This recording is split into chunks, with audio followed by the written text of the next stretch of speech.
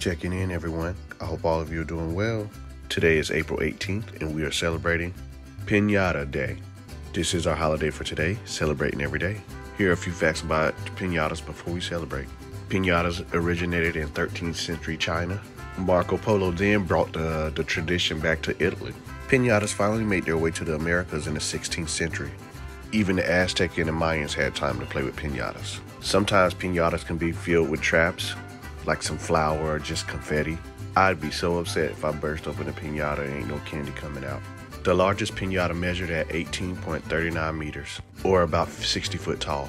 One of the most expensive pinatas was $85,000, made of gold. We can celebrate today by making our own pinata. If you don't have much time for crafting, just stick some candy in a shoebox and wrap that thing up. Don't go and buy a whole new stick, just use a broom or the mop. If you're just lazy like me, you'll just go out and purchase one from your, your local store. Try filling the pinata up with something else other than candy. I'd like a pinata with chicken wings. Please make time to visit Wellness Check on April 19th. We will be celebrating National Poker Day.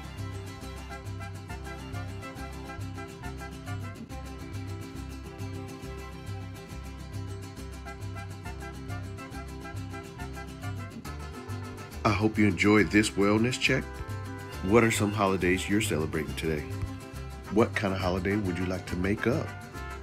These images were made using AI art.